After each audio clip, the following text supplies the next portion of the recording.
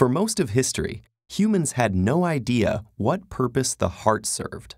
In fact, the organ so confused Leonardo da Vinci that he gave up studying it.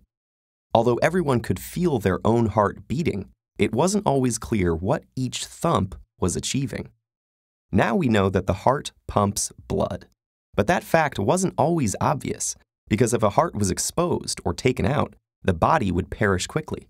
It's also impossible to see through the blood vessels, and even if that were possible, the blood itself is opaque, making it difficult to see the heart valves working. Even in the 21st century, only a few people in surgery teams have actually seen a working heart. Internet searches for heart function point to crude models, diagrams, or animations that don't really show how it works. It's as if there has been a centuries old conspiracy amongst teachers and students to accept that heart function cannot be demonstrated, meaning that the next best thing is simply to cut it open and label the parts. That way, students might not fully grasp the way it works, but can superficially understand it, learning such concepts as the heart is a four chambered organ, or potentially misleading statements like mammals have a dual circulation, one with blood going to the lungs and back, and another to the body and back. In reality, mammals have a figure eight circulation. Blood goes from one heart pump to the lungs, back to the second heart pump, which sends it to the body, and then back to the first pump. That's an important difference because it marks two completely different morphologies. This confusion makes many students wary of the heart in biology lessons, thinking it signals an intimidating subject full of complicated names and diagrams.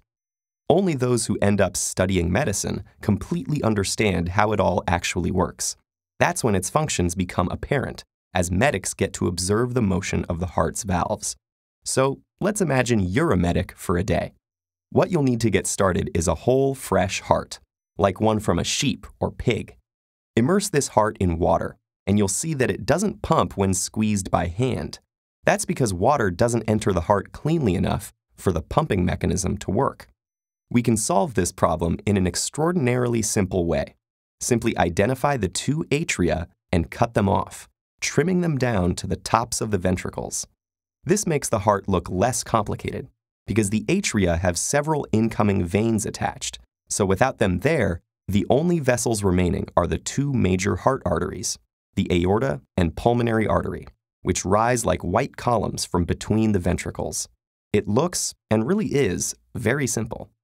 If you run water into the right ventricle from a tap, the left also works, but less spectacularly, you'll see that the ventricular valve tries to close against the incoming stream, and the ventricle inflates with water.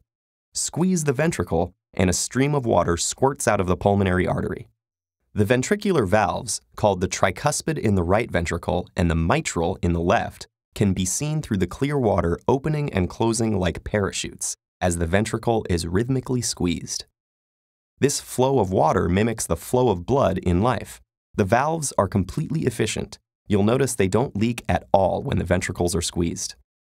Over time, they also close against each other with very little wear and tear, which explains how this mechanism continues to work seamlessly for more than 2 billion beats a heart gives in its lifetime. Now, anyone studying the heart can hold one in their hands, make it pump for real, and watch the action unfold. So place your hand above your own and feel its rhythmic beat. Understanding how this dependable inner pump works gives new resonance to the feeling you get when you run a race, drink too much caffeine, or catch the eye of the one you love.